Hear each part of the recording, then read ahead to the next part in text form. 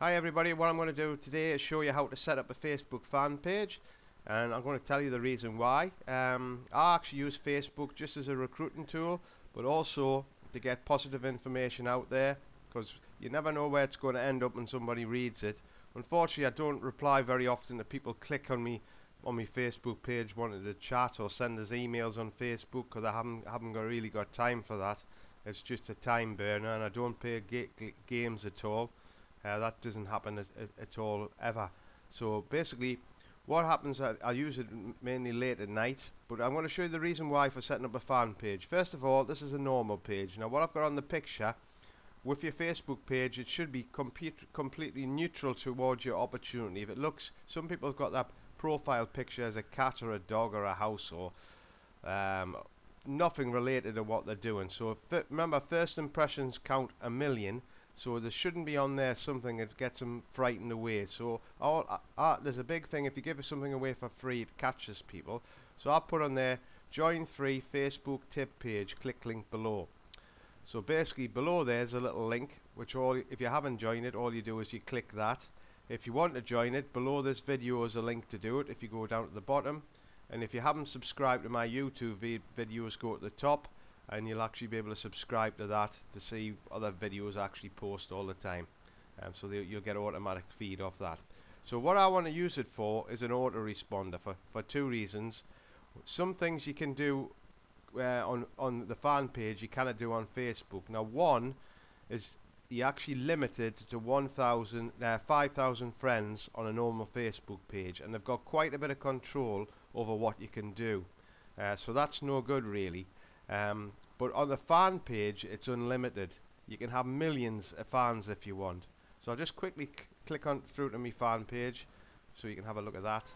Its layout's pretty similar, but two extra things you can do. Uh, when you post things on your walls, stories, etc. We've just I've just put the top retailers for the week up there. Um, you can just share it with the people who are on the on the tips, so it goes on their wall, or you can plus others, which means it means it goes out in the news feed all over the shop, uh, which is a fantastic thing to do. But one of the really clever things to do is um, where you go to edit page here. Uh, when you're setting it up as well, you see you just add a picture, and it's very similar to the normal one. It's actually a lot easier to set up than a normal one. If you set up a normal one, you've actually cracked it. Always have a link back to your website in there as well in what, what you do. I've said love teaching people the skills to earn a fortune from home, UK, Ireland, Netherlands and Germany. And then the edit the page bit. This is a clever little bit.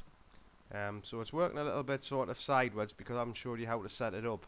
But you can watch this over and over again till you get it. If you get in here, this is this is my uh, Facebook page, fan page. This clever little button here which says send update. I'll just click on that to show you what happens. If you want to share something on there it gets actually dropped in every one of your friends little email box on Facebook. So one little message there goes to all everybody. So you can post a story a tip or an idea uh, to build trust with them and by keep drip and drip feeding th things into people's box eventually build trust with what, what you're actually up to so that's pretty straightforward you can watch it again if I went a little bit too fast but more, more the important bit now is actually how to set up the fan page. So this is a normal Facebook page and if you go right to the very bottom there's a little button which says advertising. So what you've got to do is click on there and this will pop up. Now it might be showing a little bit different to you but th this is you can advertise on Facebook which I haven't. I've set up a campaign but I've never done anything with it yet. Um, and basically what what you can do you're looking for some buttons around here now this is how they are on mine sometimes they're running across the top here but basically what you're looking for the one that actually says pages so if you just click on pages